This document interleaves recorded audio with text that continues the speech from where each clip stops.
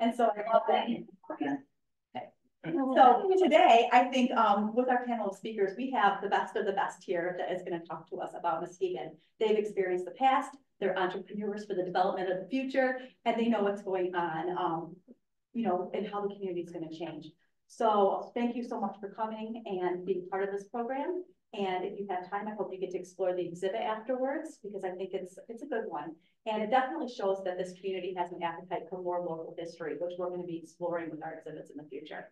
So thank you, everybody, and welcome. We have Dave Alexander with the city, Cindy Larson with our chamber, and Frank Peterson, who is was with the city and now who is entrepreneur and developing. So I'll just turn it over. Thank you guys for being here. I'm up first, I guess. Well, welcome. Thanks for coming out. Um, I think this is something that we're passionate about. Um, our community, its past, uh, obviously its future. Um, I've done numerous tours downtown over the years, uh, last decade. And I start out by saying that we are in a historic transformation. And I would credit the uh, two panelists that I'm with here as being very key um, in terms of leading and sparking that uh, transformation that we are in. Um, for me, it all is about Muskegon Lake. That's why we're here. It's our identity. Um, it's the reason for being. I'm starting with the indigenous peoples. Um, they came here for the resources and the uh, transportation um, uh, aspects of the Muskegon River and Muskegon Lake into Lake Michigan. Um, the French fur traders came here for those resources, as did the English and the Irish uh, as lumberjacks uh, during the era that uh, was our glory time in terms of uh, the, the lumbering era here in Muskegon. I think most of us um, who've been around long enough realize what came next and that was the industrial era. And um, we see vestiges of it today. Um, and that was really the Central and Eastern European and Southern uh, blacks came into Muskegon to create um, the uh, uh, energy and the uh, products that um, that we are, are, known for, especially before and right after World War II. We are now in what I call the quality of life era and that's um, a three-legged stool for our, our economy here in Muskegon County. Uh, advanced manufacturing, we still make things here in this country. Um, healthcare and uh, hospitality. And I think those have all blended together uh, here in the last 10 years to create uh, what, again, is a historic transformation. I like to go back. Uh, I came here in 1981 and worked for 34 years for MLive and the Muskegon Chronicle. Um, and I remember uh, my wife and I talking about the first images that we had in Muskegon, um, never coming here prior to uh, getting jobs. And uh, that was of uh, what was called the Wiener property. We now know it as Heritage Landing. And it was before um, Shoreline Drive was in. So Western Avenue was going on down past the, uh, the um, uh, depot where the Convention Visitors is at and you literally went over Western Avenue like this because it was settling from all of the tailings from the uh, not industrial era, but from the lumbering era. And you look out, you'd like to take a look at um, Muskegon Lake and you saw the Wiener property, which was what is now Heritage Landing, was a foundry dump. It had big piles of rusting um, steel. I remember uh, exploring it with another colleague of mine, Dave Kolb, at one point, and there was a micro bus uh, VW from the 60s, early 60s back there up on blocks. And next to it was this little oil pump, like we're going to actually suck the oil back out of the out of the um, soil and uh, the groundwater at that point. Obviously, in the early 80s, it became um, what I would consider one of the uh, finest uh, outdoor venues in the state of Michigan, especially uh, home to a Summer Celebration today, home to um, the Irish Music Festival and of uh, the uh, Unity Christian Music Festival.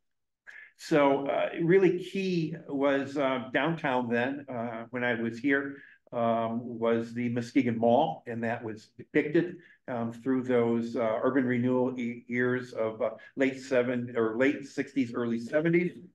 Understand with the Muskegon Mall that it was the number one um, shopping destination for Muskegon County and the Lakeshore.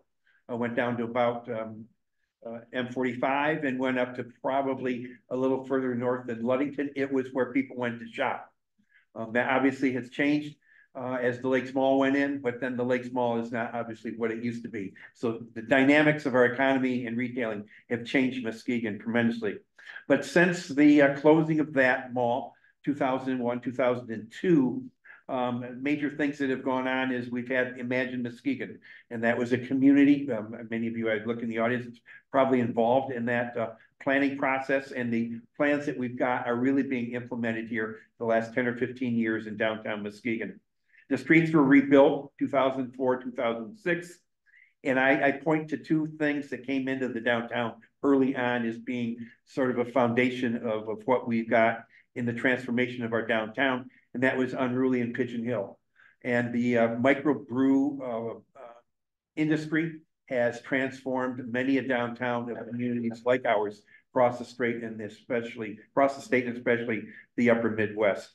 Um, finally, um, the arena, the hotel and the convention center uh, were a final um, uh, added addition to uh, something that we've been hoping for for the decades that I've been in town, and that would be a small convention center. And I found um, in my reporting probably the uh, finest public-private partnership that we uh, have put together in this community in terms of Parkland, the county, the city, and um, the uh, the community and, and hospitality.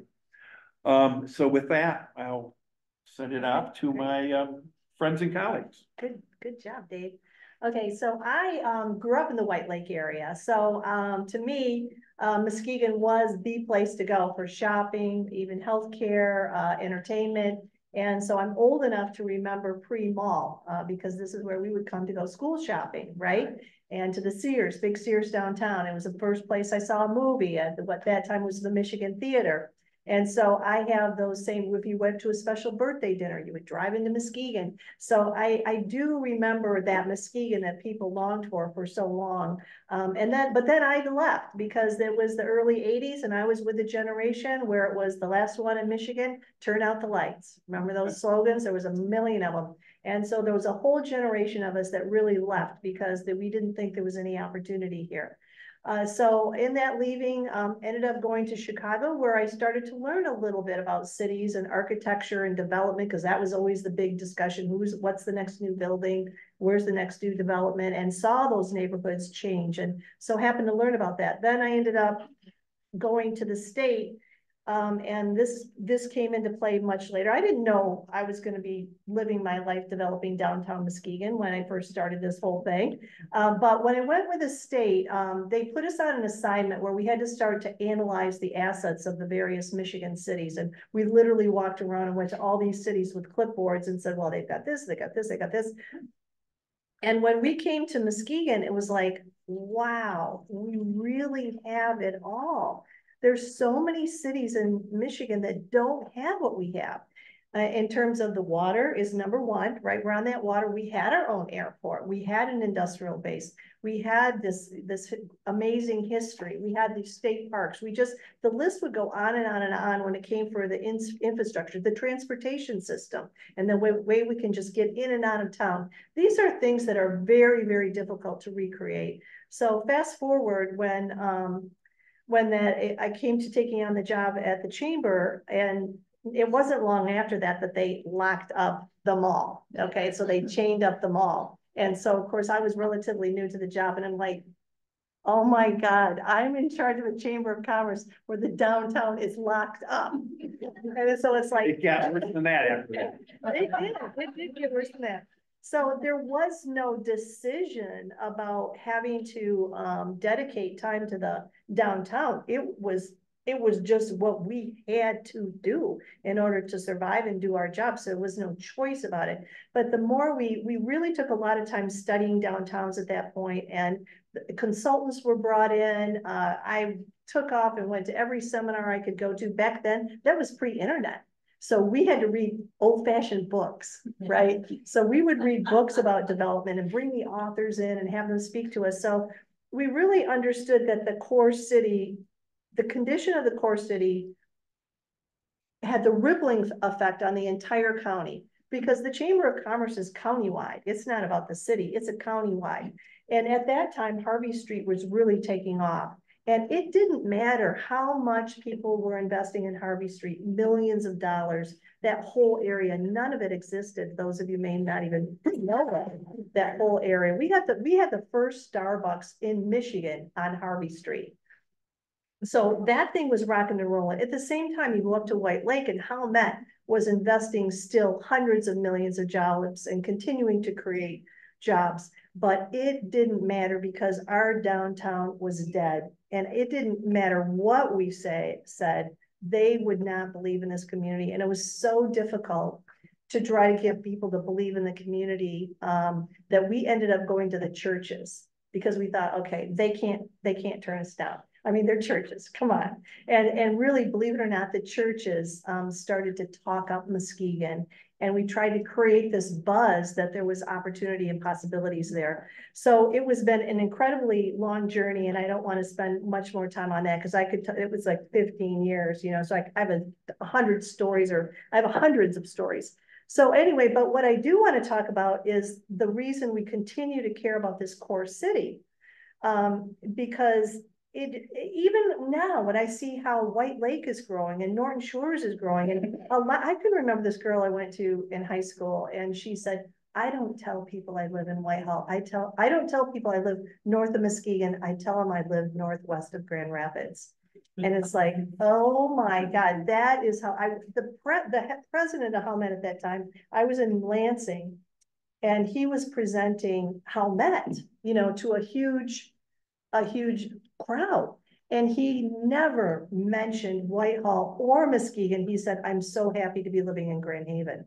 I mean, that's how horrible it was for our community to try to go from where we were into where we are today. But anyway, the bottom line is we've gone past that and we are past that people. And we need your help because there's still people that are stuck in 1985 or 1995 or 2000. And we have to get them to understand we are so far beyond that. We are creating something so amazing and so wonderful. And it really has to do, once again, with Muskegon Lake and the fact that we protected a lot of that heritage. Our arts and culture is second to none of any lakeshore city. The diversity is also, we're going to be the only lakeshore community that can have diverse people, right? There's no one that's going to touch us on that for another 50 years. And then now the economy is diverse. And that was really critical. So we have to have the mix of manufacturing and tourism, professional services. Look at our amazing healthcare system that we're building here. So I, I want to say that, yeah, let's, let's, well, the former museum director told me to see the future, look at the past. So when we reflect on the past, we need to just learn from it and learn what about it was great and let's keep that going. And what about it wasn't so great and let's shed that and move on to the future. So I do want to make, hopefully we'll have time to talk about the future today um, and what that looks like. And hopefully everybody in this room is going to help those people let go of the past, love it, enjoy it. But now it's about the future and it's now it's about the next generation and what can we do to help us for the next hundred years. Very good. That's it. Okay, so, um, I, I have different, a little bit of a different perspective than, than these two because I wandered into this town in twenty thirteen. And so I didn't get a chance to know about the, you know, the, what it was and why it was and where it was. But I do remember, and some of you will laugh about this, but I do remember coming through about, you know, about three weeks before my job interview. And, you know, I came through with a buddy who was a downtown development director in a, you know, city that very vibrant downtown, very popular place. And we came through and we checked out the lake, we came around, we came downtown. And I remember we stopped, I forget about where it was, maybe about where 18th Amendment is now. And we were like, what in the hell is wrong with these people? Like everything we saw around here said this should be the best, the best city in, in all of Michigan, but it wasn't. It clearly, it clearly, it was like, you know what, you ever hear that story where like, you know, like if only God would throw me a lifeline. He's like, I threw all, all these things you and you weren't paying attention to them, right? And and it's like they had all these different op all these different options that nobody could create, right? We saw the art museum; it clearly had been around here a long time. We saw we saw you know Muskegon Lake and, and Lake Michigan and all the the great things, and but we couldn't get over, you know, but why could they not figure out a way to make it successful when people could go into downtown Fenton and have, and have a vibrant downtown, you know, or you name it, Royal Oak or, or, or Sparta for crying out loud and have a vibrant downtown. And for some reason, we didn't have one here. And, um, it took a little while to figure that out, right? So I started in twenty thirteen and to, you know, like I said, there was no one really, there was no, there was no Pigeon Hill, there was no, there was no, there, there really wasn't a whole lot of any, any real good reason to come downtown unless you were coming down to an event or if you worked downtown and things like that. And, you know, the, the problem with that is, um, that's when you really start losing your history, right? When people stop using the buildings, when people stop caring about what goes on in the buildings, when people stop taking care of the buildings, when there's not enough economy taking place in the buildings, it's really quickly that they can, that they can fall into disrepair and, and fall into a position where it doesn't make sense to invest in them economically, right? And then, and then you lose them. And we've lost a lot of buildings like that. Some probably we've torn down on purpose, but others because they just economically, they didn't, they didn't work anymore. And, um, so as, as a city manager, it really, it, it became very apparent to me that like without a vibrant, successful downtown, didn't matter what we do in our neighborhoods. It didn't matter what we do in a lot of the other places.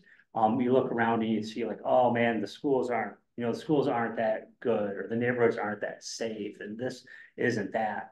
And I, and I always came back and said, well, wait, they're not, those, the downtown isn't in its condition because of the quality of the schools.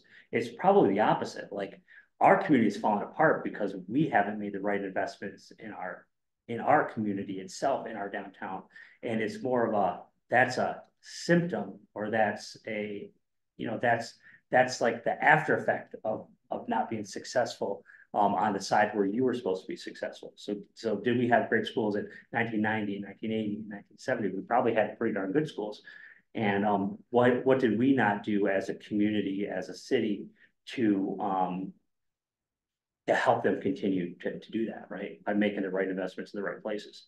And um, so it was very clear to me that, that we had to invest in our, in our downtown. And whether it's a convention center or reimagining what an arena would look like and things like that. One of the things that I found out really quickly was, you know, invite in, invite somebody in to talk about a book or, or, or people to know about a downtown.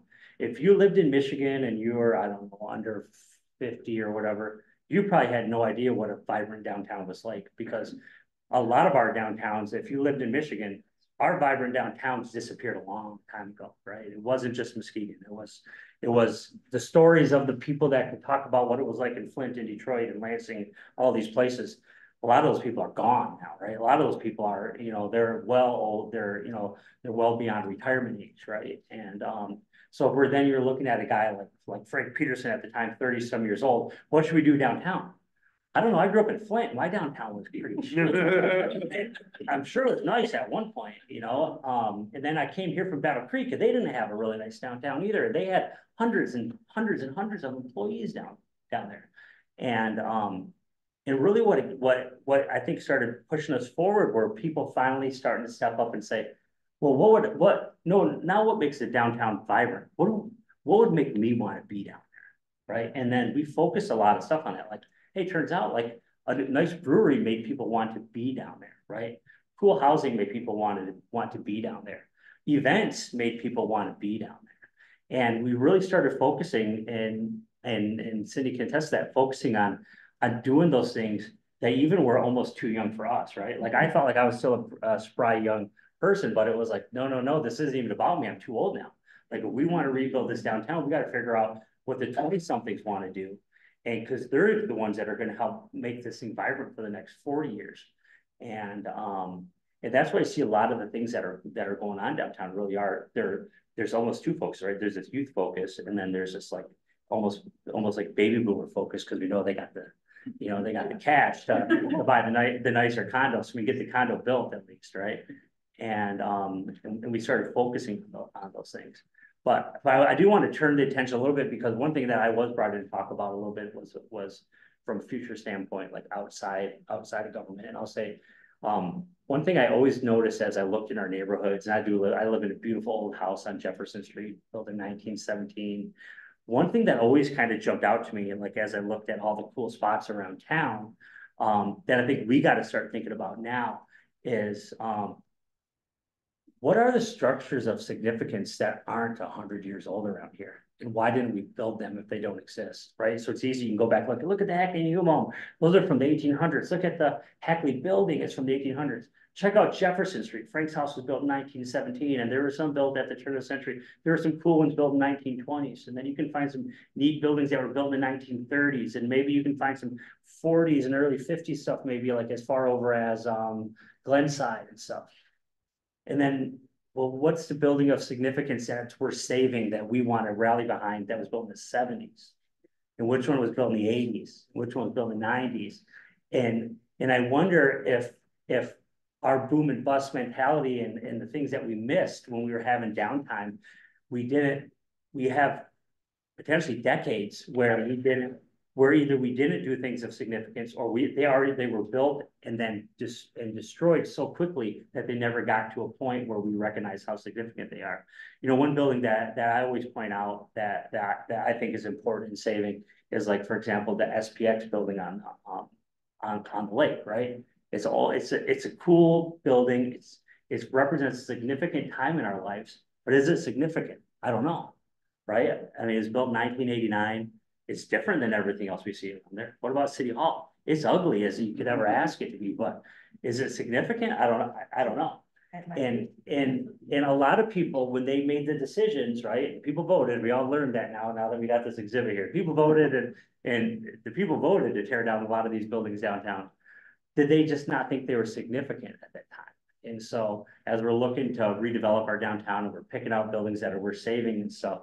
Remember, there might have been that building that was built in 1960, 1970, 1980 that we don't realize is significant yet. And, um, and we might not, but if we tear it down now, I guarantee you, your great grandkids are gonna be like, I can't believe those idiots tore down that building. They're gonna be, they'll have a slideshow of it up here. And the Muskegon City Hall will come by and they're going, they tore that down, they're going just like that. And, and, you know, and, and you gotta remember that, that like when we tore some of these things down, when the, you know, the big we, we didn't think they were significant back then. And that's why you gotta keep your, your eyes open in, in your, in your, um, in your mind open to what's, to what is significant. And then the next step is, when we're building stuff today, let's make sure that we keep that, that we think about that, like, like, it can't always be like, how do we build the most affordable housing all the time? Because that is important. But wait a minute, will somebody want to walk by that in seventy years from now and, and, and, and see it as a significant piece in one of our neighborhoods? I don't know. Um, but we got to remember that when, when we're building houses and we're building convention centers and building new libraries or new high schools, a good example, right? We got great, beautiful new middle school going up. Will anybody ever say that's significant? I don't know. It's probably not, doesn't look like any of the significant buildings that the school owns, you know, right now, or the one that Wheelfish owns, um, the Hackley Admin building that the school owned for a lot of time, that you know, when you look at it, it's worth saving. And, um, I think that's, that's, that's the next thing that's gonna be really important is, is how do we make sure that as we're building our city, you know, we think that we found a, um, you know, this, the great things are yet to come. How do we make sure that, that as we build those great things, that we're building things that, that, that we'll want to be here a hundred years from now, and we'll beg people not to tear them down a hundred years from now. And we'll hope that, you know, and we'll hope that they, that they don't, and they see the value in them and carry them for a long time. I think that's a great point. I'll just jump on that because I do feel like because of these issues with the housing shortage and the supply chain issues, that they are rushing to put up just, uh, you know, junk. And, and it's, o- and yeah, I'm sorry, but you may have to live with your relatives or in the basement just a little bit longer uh, because of just what you said, because those, that housing just may not last.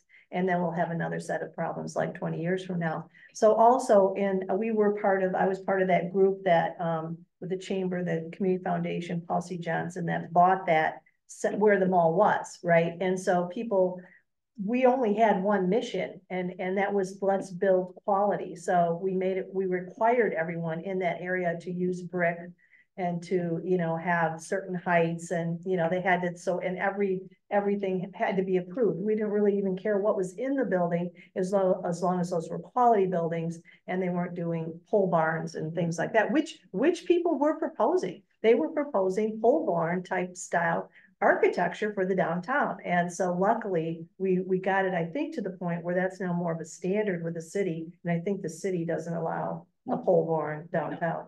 So, um, nothing against pole barns, not the townships.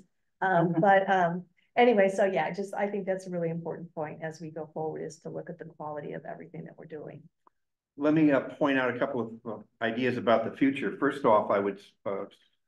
Propose that uh the future is being built right in our midst.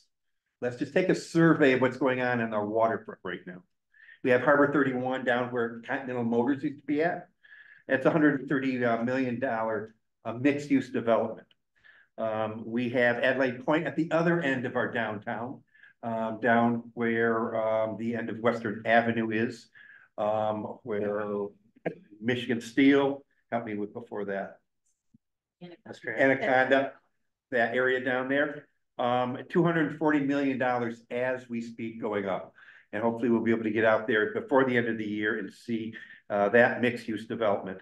Cross street, Shaw Walker Building, um, uh, another uh, probably two hundred and twenty million dollars. We should be seeing uh renovations begin. And the first phase of that uh yet this uh um late summer, early fall.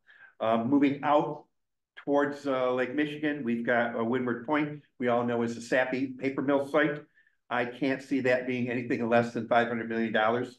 If Parkland Development were to actually build out what they have proposed um for uh that particular piece of property.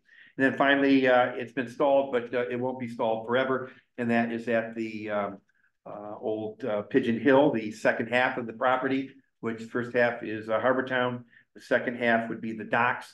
Um, you're looking at another two hundred forty million dollars worth of uh development. Mainly residential, mixed with uh recreational because of the water aspects, but then also sprinkled in with uh commercial aspects of that. That's one point three billion dollars.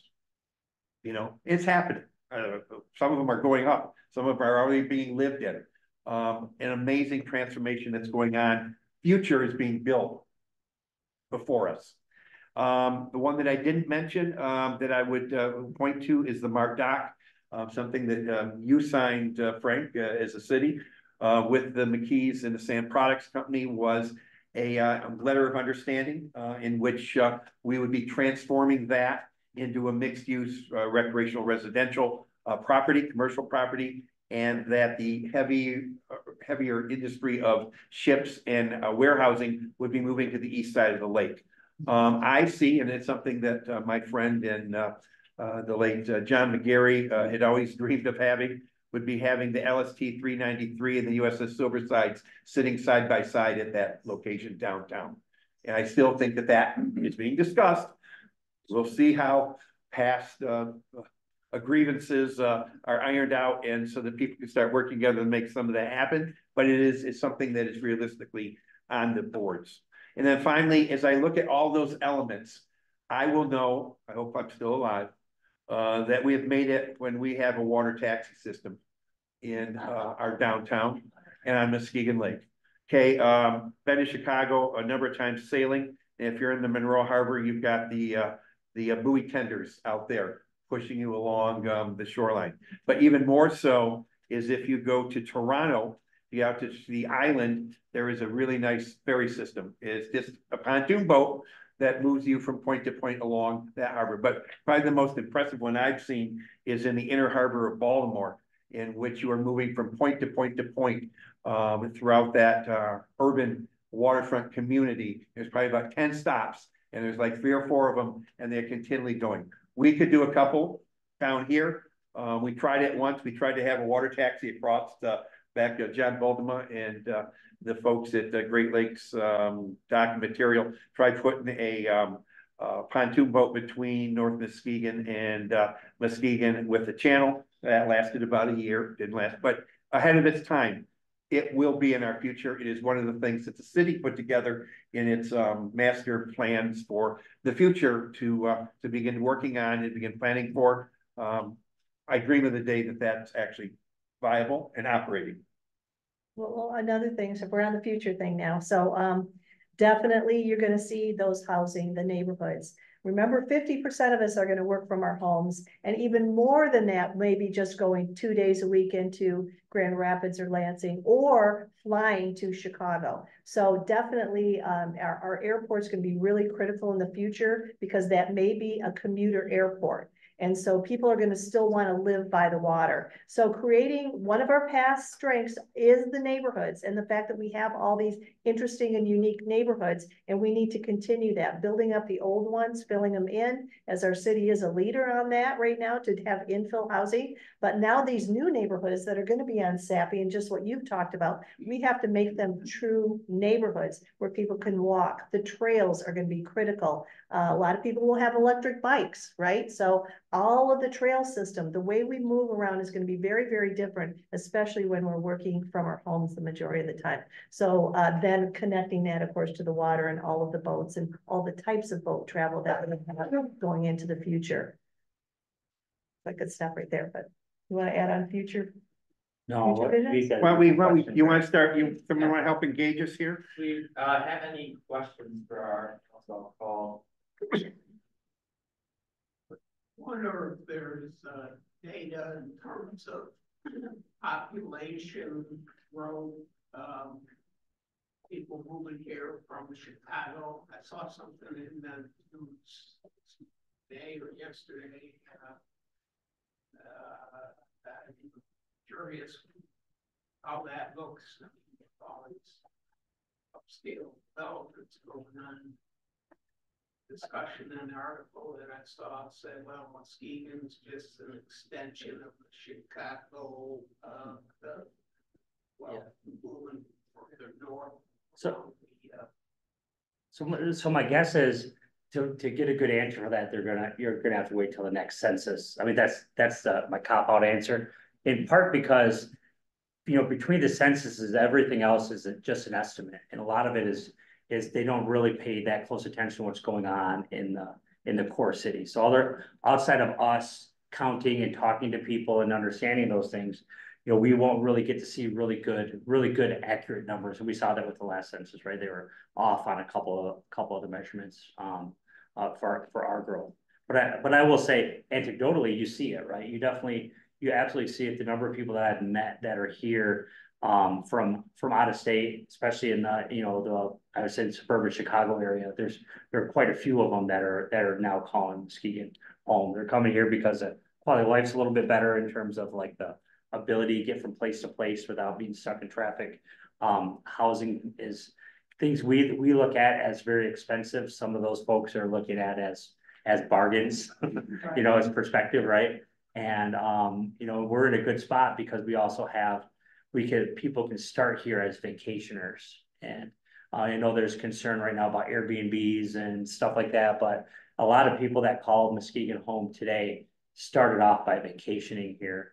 Um, and then, and, you know, that might have been in like somebody else's cottage, right? Um, or an Air, what we would call Airbnb now, um, and then became a vacation home that was theirs. And now, you know, as a, as a, as a year-round resident. The only data I do have is, as you said, the data is that we do know from Comcast that a lot of the real estate is being bought by people with Illinois addresses. So that's the one bit of it. Well, Comcast, people who are buying real estate and they're signing up for Comcast, the bills are going to Illinois. So, so we do know that as a fact, which we thought was quite interesting. Marketing wise, we're targeting Grand Rapids as well as Chicago. So behind the scenes market, because obviously Grand Rapids, you don't have to switch jobs. And Chicago, again, is gonna be that great, that history that we have connected to Chicago is still there today. The families that are three, four generations coming here for vacation. Do you think the city is going to enact a prohibition against um short-term leasing? I will uh, just tell you, how, going back to, uh, city commission after we're done here. On the agenda tonight is a pause of six months on any new. Um, applications for short-term rentals within residential areas. Only zoned residential, so you could be in the downtown, you could be along, um, the commercial district of Lakeside on, uh, Lake Shore Drive. Um, you would still be able to, uh, invest and, uh, create um space in buildings either above uh, the commercial or as part of uh, the commercial uh, structure on the street level, um, short-term rentals. So it is in our future.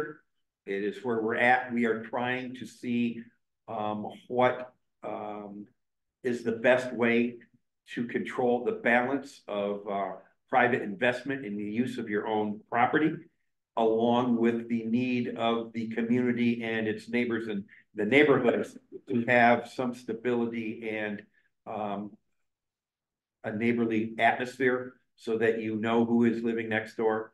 They're living next door next year, they lived next door last year, and it's just not a continual transient. So um that is very important to a a vast number of the people who have spoken to us. And uh we'll see where the vote is tonight on that, but one way or the other, we are looking at ways of.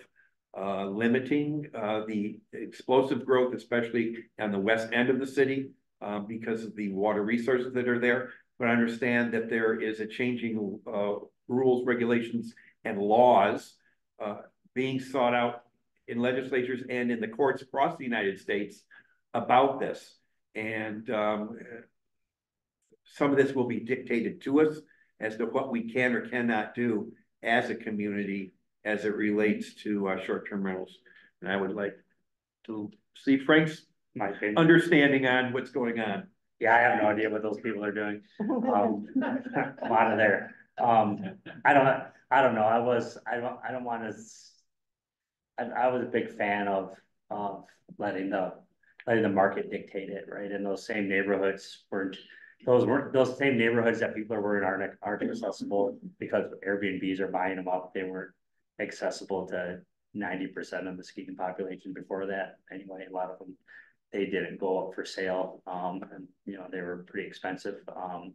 I think the one thing the Airbnb market did for that neighborhood was finally get people to sell their houses on, on the open market and, uh, you know, and get some competition in there and, and no longer, I mean, it wasn't that long ago, we were having houses selling, you know, staring at, at Pere Marquette for a couple hundred thousand dollars, and that sounds, that sounds really good, except that when you know that that we kind of count on that, the economic growth and the economic power of our, of our, you know, vibrant areas to help pay for, you know, you know, to help pay for a city that maybe has a lot of people in it that maybe don't have, you know, those kind of tax, that tax and ability. So, um, I, I don't know, I'm, I'm, I'm worried that it, that it could slow down a potential, potential growth and really we probably could have looked at other, we probably should have been ahead of this when we tried to get ahead of it. It seemed like five years ago when we were asking for some simple changes and there wasn't, there wasn't enough.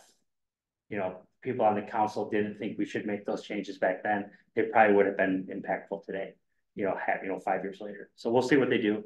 Um, and, um, I guess, yeah, if you live next door to one, you probably don't love it. And, but if you come here to vacation a lot, you probably actually do love it. Or if you have a house that you want to uh upgrade or or move uh into that kind of a realm, um. Um, you want that, you would like that option, and there are obviously those, the investment in real estate area.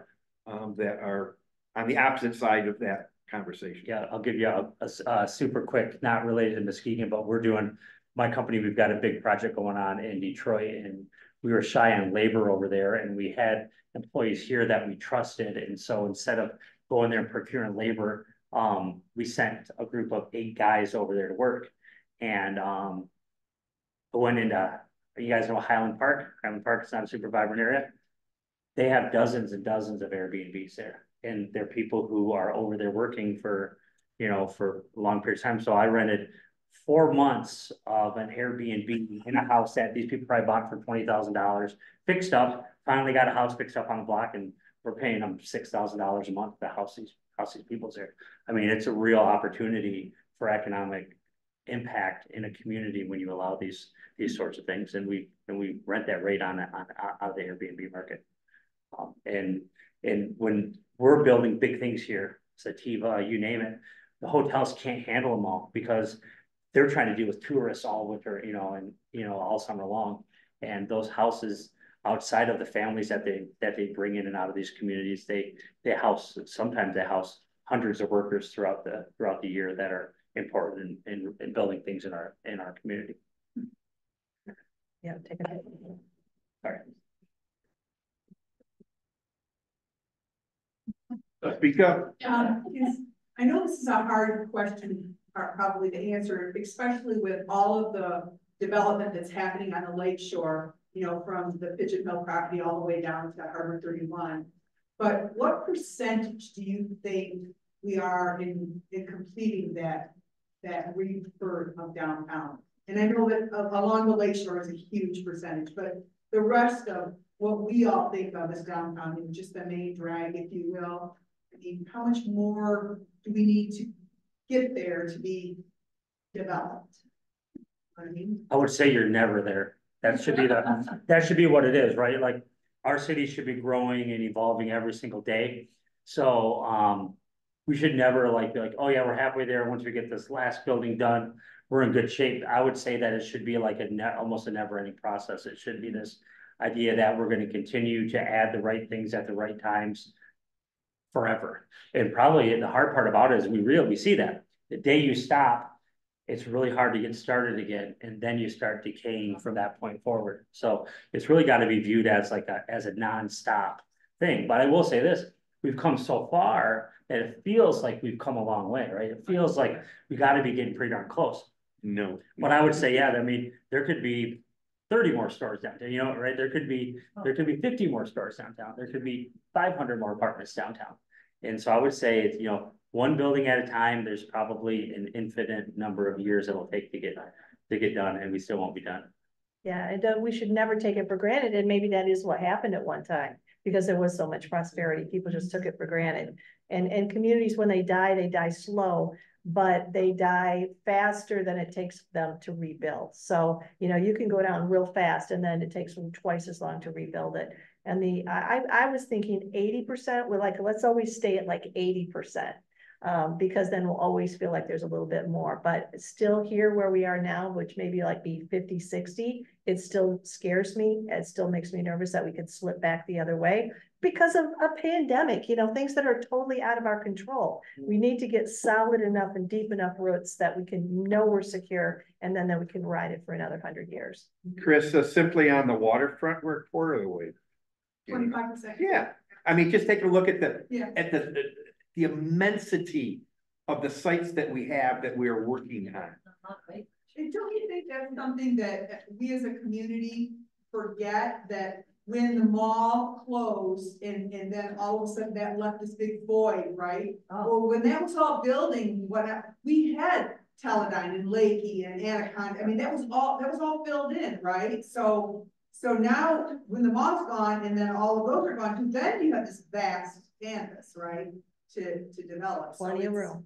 And I think that we forget that, that those businesses were there for so long. And there are people that, and we're doing a branding um exercise uh and project at city. Uh, and I've done lots of interviews or sat through lots of focus groups the last couple of months. And there is a real longing, and it's just not with people my age and older. But it's with uh my kids or my grandkids' age.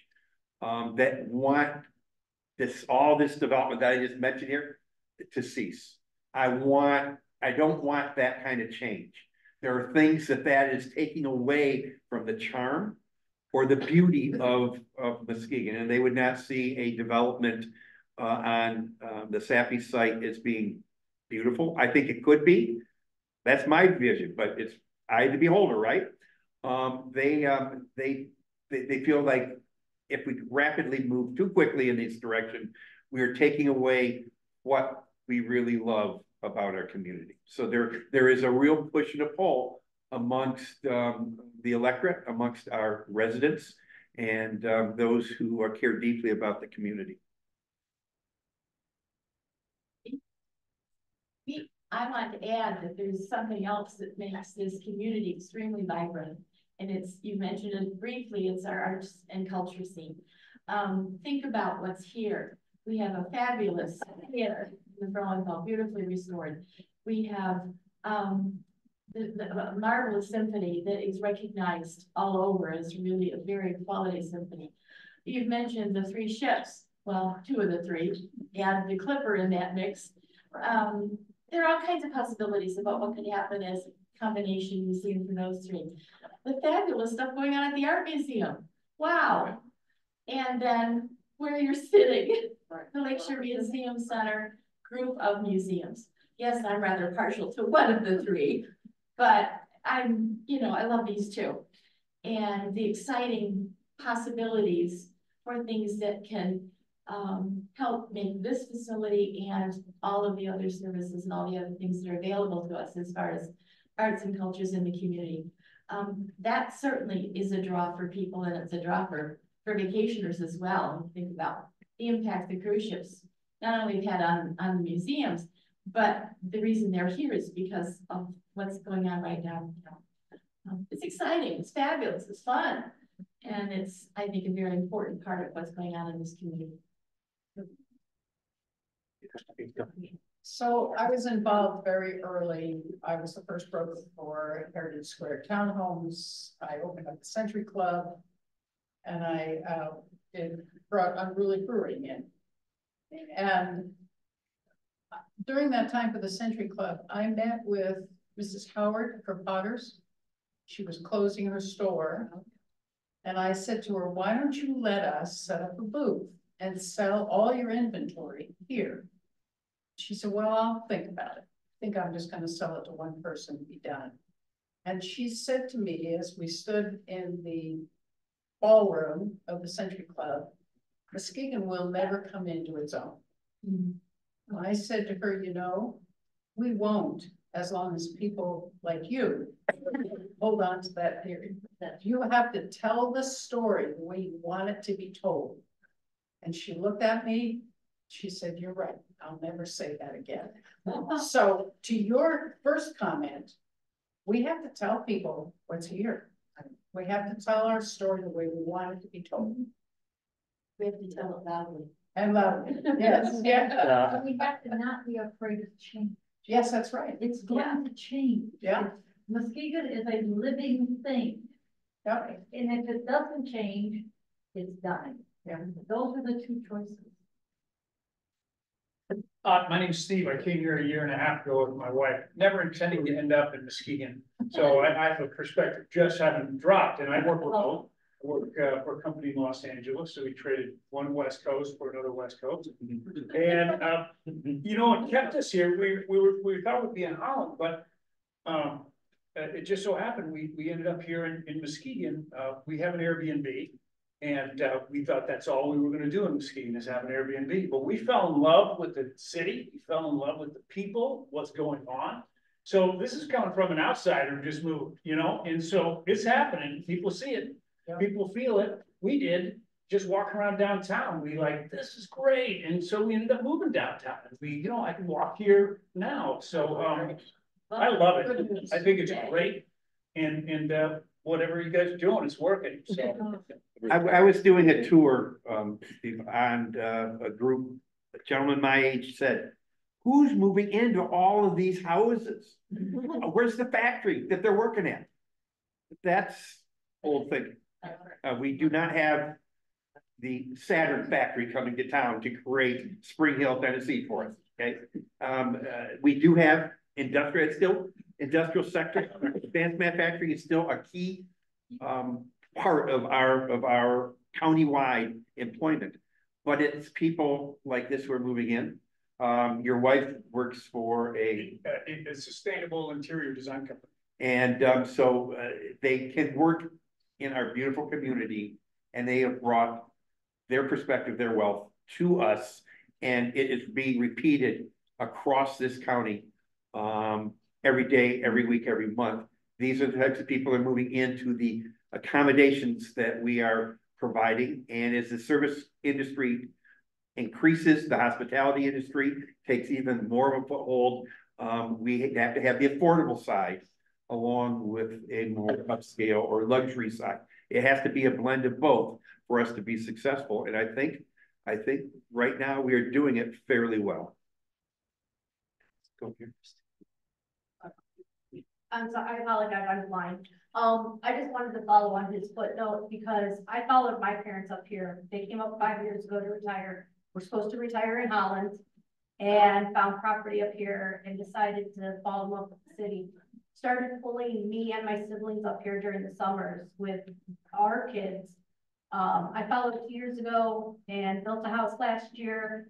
And decided that I needed to pull my sister and built, she built the house now which she plans to do Airbnb with, but she hasn't gotten there yet. She's too in love with it right now to share. So we're gonna let her decide that one, but the whole aspect of the entire city, both during the summer and the winter, is very uneven at this moment for visitors. And I think that's something that we needs to be looked into.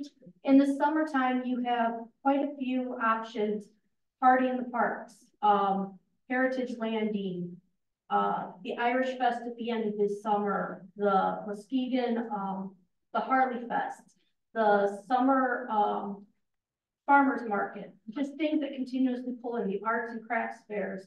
Two summers ago, you did the sidewalk fair for the kids where they could actually watch the artists and do their own sidewalk talk. Things like that are phenomenal. There's not quite an interaction ability in the wintertime. And that's something that I'm, I'm looking forward to is going forward. Hopefully there's something in the plans. Come to the museum. And don't you think that we as a community, and Missy, you, you could probably help, and Judy, you might have some comment too, but I think we see a lot more of those indoor activities for families within our organizations and our institutions, that programs that the art museum is putting on, programs that the Lakeshore Museum Center are doing for families of multiple different ages. I mean, just a, a program like this tonight, we didn't have this kind of a program five years ago, four years ago, that we as a community could come to. So I think they're, they're out there, but obviously not as prevalent as we see them in the summertime, just because of the true temperature, you know, that, that we deal with, right? Yeah. Let's get a question here, unless you have any question, I'll go next. And maybe you can't answer this, but I think one of the things that you said is, you know, there's still a group of people here that want to connect to the past or don't like the development that's happening. And I just didn't know if you had any insight as to why that is. Because everything that I hear is good and positive, but yet we know that there is a group of people that are digging their heels in for whatever reason. But I don't even understand what some. Most of it is to nature. And it is to, um, how we. Um, handle the um, stewardship of our waterfront. It is to the, um. They look at other communities and we, they don't wanna become a Holland. They don't wanna become a Grand Haven. Uh, whatever that means in their mind, but they, these are the things that they are, are verbalizing. Um, and, and it's, um, they, where they had a solitude of being able to walk through a piece of property. They do not want that disrupted with development, with more people. Um, they, they, they want that aspect, but as we say, if we do that, we're only gonna be going backwards. It's, it's funny too, you know, not to beat up on everybody, but like, the same people that are like, I, I, I want more neighbors instead of Airbnbs are the same ones that are going, but don't build any more houses. You know, and it's like, for crying out loud, you know, we could, these things could work together instead of against each other if we just would open our eyes a little bit. Yeah, and so, and don't forget, social media plays a role, right? So one person says something and then another person, you know, and then people jump on that without really, really thinking it all the way through. And then you get them in a meeting like this and they do start to think it through and then they'll start to change their. Well, I'm, I'm just thinking of a conversation I had with a young woman. She was probably early thirties. I mean, she had a, um, a master's degree from Harvard. Um, she came back to town. She is here. Uh, her parents are still here. Um, and, um, eh, there's just a certain aspect of the community that she doesn't want to lose that she remembered growing up. And she feels it being slowly taken away as I list the number of hundred million dollar projects that we have on the boards or in, going into the ground. Uh, Scary, um, disquieting, um, unsettling. Uh, for her because um, her, her. Her vision growing up was of, um, carefree days on the beach and, and in the woods and in the dunes and. They're all gonna be overrun by people and buildings that I'd rather not have there. I mean, that was the impression I got of a very, um, caring, compassionate, passionate uh, very smart lady, um, and she holds that very deep in terms of, of where she sees the development cycle going. And do you have a question? Thought, and then we'll get to over there and then back there. And I read a year or so ago about a John Balls, who was thinking of doing an aquarium. Considered Muskie. I don't know if Yeah, any- That's not bad. I mean, I think that's, that's, at this point, it doesn't appear to be their front project for Grand Rapids. So, um, everybody in Grand Rapids seems to be focused on other things. I don't, I, I don't say that it would never happen here, but it will only happen here if the Grand Rapids community wants it to happen here. So we're not gonna be able to pull it here. We can't pull a hundred and fifty to two hundred and fifty million dollar aquarium. And that's what you're talking about, to have it a destination. Yeah, but they can, and if they decide that Muskegon is close enough to Grand Rapids. Where they would like to have an aquarium, that's when it'll happen. It's gonna have to be a public-private partnership again, and the public side is gonna talk about bonding in, in millages. And, uh, you know, we, we will raise, uh, twenty cents here on, on whatever mill we put out, they'll raise a buck. They just have a much greater economic base to support something like that. And where, if this project were ever to go, they were looking at Millennium Park, which is on the west side of the city. Um, as, as a possible, uh, location for it. Um, the one that was, uh, discussed here most recently was the east side of, uh, um, the Sappi site, Windward Point. And Jon Rooks, if he was to uh, obtain that property and start development, would be open to looking at using a portion of the east side of that property, which would be towards Lakeside, um, for that. But I, I don't see it happening. And, uh, we do not, I personally think we have more uh, important, um, things that we can put those kinds of public resources towards than that. Um, so, and, and I covered it when it was, and you were around here too, it was discussed out at the, uh, um, river. Um, one was discussed down on the Mart dock, and, uh, it's been kicked around here for 25, 30 years. I actually went out and, and for a Chronicle reporter, did some reporting on some aquariums across the, the upper Midwest. And, um, it, it never has really taken hold. And, um, it, it's an expensive, very expensive, uh, but could be very dynamic. Well, that, I think, but you kind of were leading toward, we have something that would be equal to that. We could move all of the historic maritime vessels into the downtown area. That would be equal to an aquarium and create a whole plaza that is an outdoor walking maritime museum um, in our downtown, and that would be just as wonderful, and why not? We don't have to do, um, do the aquarium, we can do something of our own that's all Muskegon. You have a? I, the thing is, when we moved here five years ago, and I was about. We retired and came into the area and whatnot. I got the impression that there wasn't this, I've got mine. We don't want you coming in anymore, Like, they're getting, we're hearing that more. And. That's the one thing that will kill your downtown, your community and everything else, because.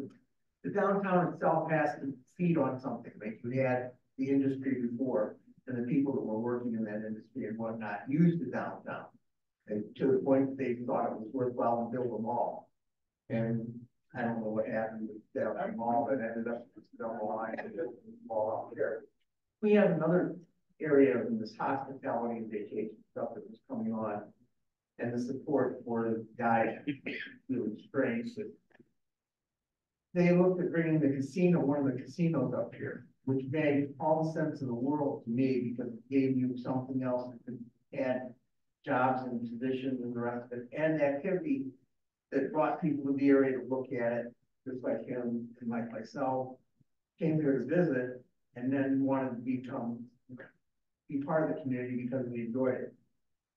That activity that would come in with the use of the casino and the rest of it, I don't know why the city hasn't gotten behind to push that. and The rest of the likes it. That to me makes more sense as far as your development is concerned than anything else. And would open up, it wouldn't put any pressure on your lakefront, but it would sure fill in a lot of the units and uh, not to develop. You wanna do it or you want me? There was a big proposal on that in the late nineties, right? Yeah, and I- lo- I- locally, there's not a lot we can do, because that's regulated by the state and federal government. You know, they say that we can do something, but locally we can't. But I personally think that we also have to look to the future. That whole industry is changing. Now that you can do stuff online, that industry may go by the wayside.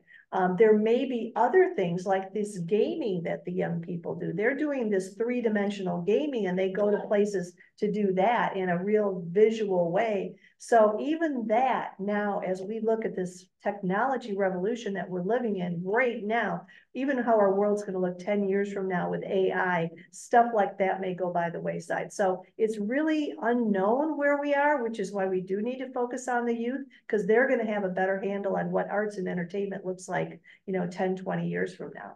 I wrote my first um Indian casino story for downtown in nineteen ninety-two. Okay, hasn't happened yet. And it won't happen downtown. Uh, the one place it may happen is at the old racetrack. Okay, now what did we do there as a community, folks? We got in at the end of the racetrack era. Yeah. And that lasted five years and bust. I would say we've missed the uh, window of opportunity for casinos. And as much as uh, we may think that that would be a great thing, um, we are, we are taking the gaming industry in other directions. And um, to have a large casino footprint with a hotel and um, a uh, entertainment venue um, is probably not what uh, is, is, is out there. We were late also, uh, quite truthfully, on the suburban mall. I mean, look how many towns across the state of Michigan had suburban malls. When we put in the Lakes Mall, there were only eleven of them built that year across the United States. There were two the next year and there was zero the year after that. We were at the end of that era too. And, and it worked well for us for twenty years, but now we're in the boat with everybody else. Um, I, I really, um, think that we've gone beyond the point in time when, uh, that would be a viable future. Now, let's- Economic Let's say now about what we were ahead on is the environment and taking care of our environment and cleaning up our waterways. And we were ahead of everybody else on that. We were ahead on appreciating the outdoors with all of the state parks and the local and the county parks that We we're also ahead on putting in infrastructure in terms of our roads or sewers. Um, we are, we are in a position to handle, uh, our capacity is such greater than some of our neighbors around us who are suffering through issues of infrastructure capacity. Um, so yes, we have been ahead on a number of issues and, and the cleanup of, uh, Muskegon Lake is, uh, is one of the, the stars that started when we put in the wastewater site, uh, the wastewater plant, um, facility in nineteen seventy-three. I think we had a question over there, if you want to, then we'll do maybe one more question after that. Muskegon is very lucky as a city that we have such a vibrant future, but we also have a very vibrant past.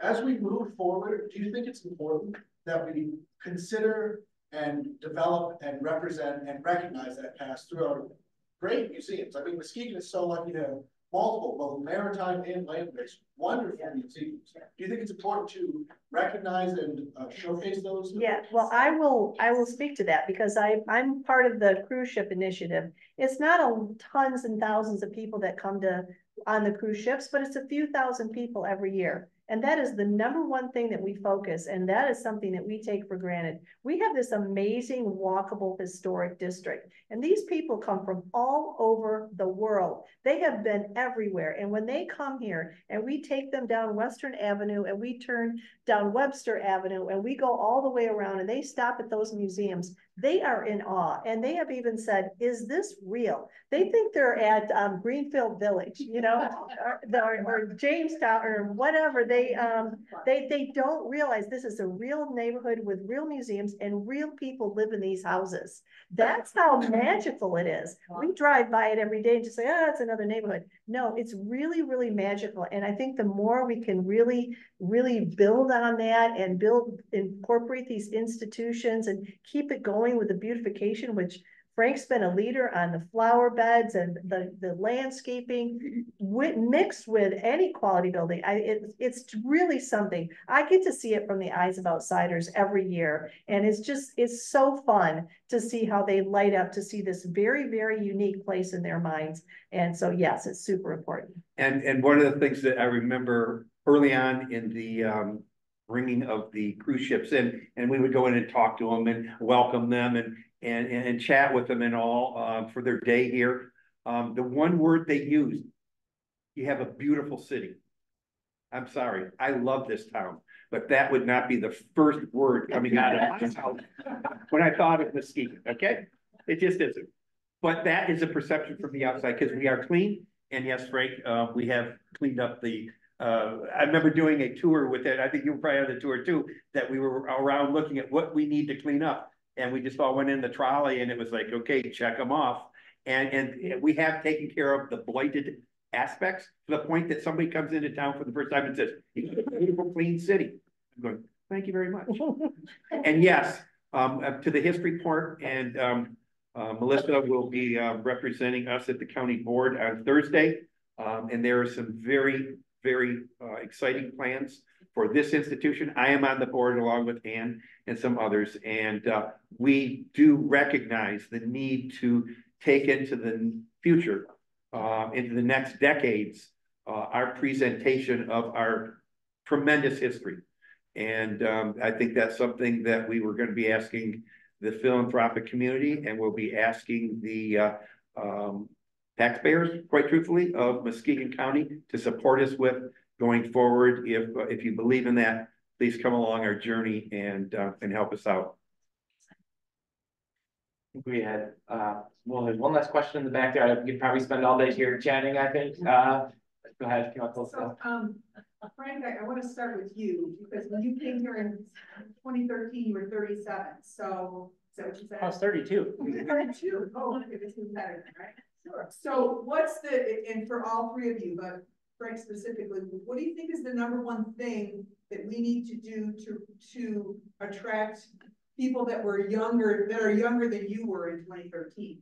If that's really our future and we need to get those folks in, into, into the city, what is it that we need to do in our downtown specifically to? Yeah, well, so that's a hard one for me because I'm not them, right? And like, like I said, I think you gotta be able to put yourself in their mind and have the things that they want to have there. So that's the number one thing. I just, I just don't know that I'm qualified to do it. Um, but yeah, you gotta have things there that those people wanna come, come and, and enjoy. And so for me, I, I like going to the hockey games, but for them, it might, it might be completely something else. But I will say this, perception is like, is everything. So like, what we need is vibrancy down there. We need people talking about it in a vibrant and happy way.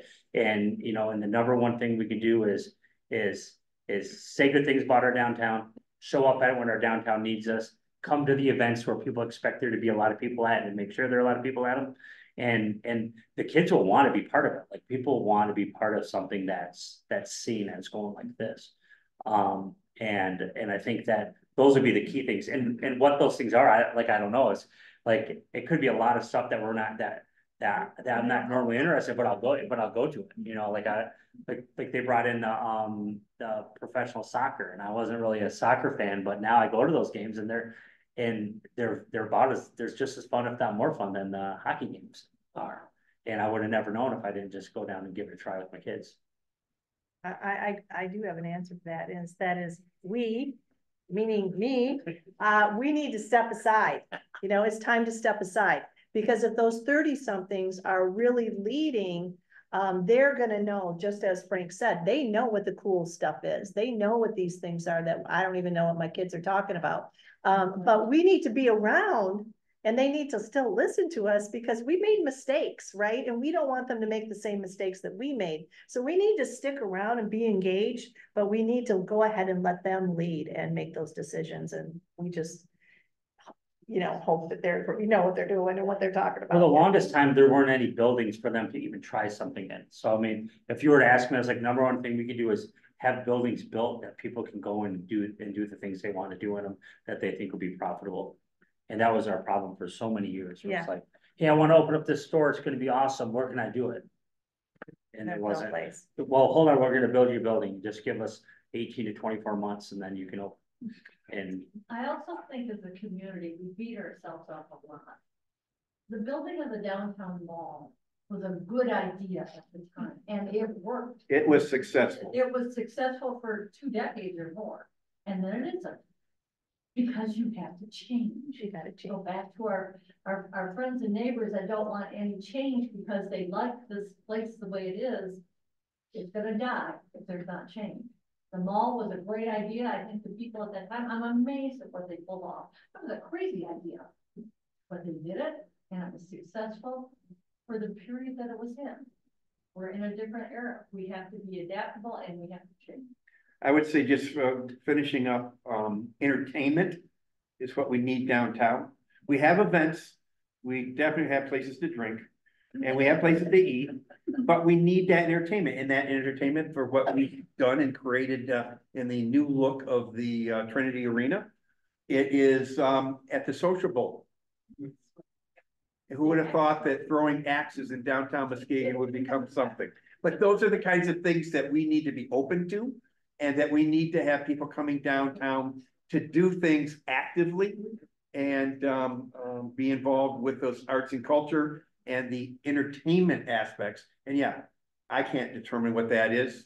Um, but as our- our children and grandchildren will. Even the changes in the music that was, that was brought into the Frauenthal earlier this week, when they brought in the Vitamin String Quartet on a free grant that, um, was brought in.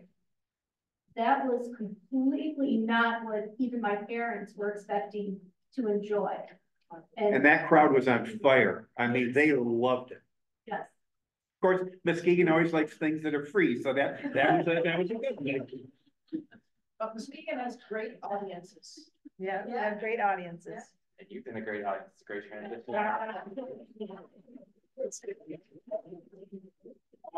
Thank you everyone for joining us and a big thanks to our three panelists.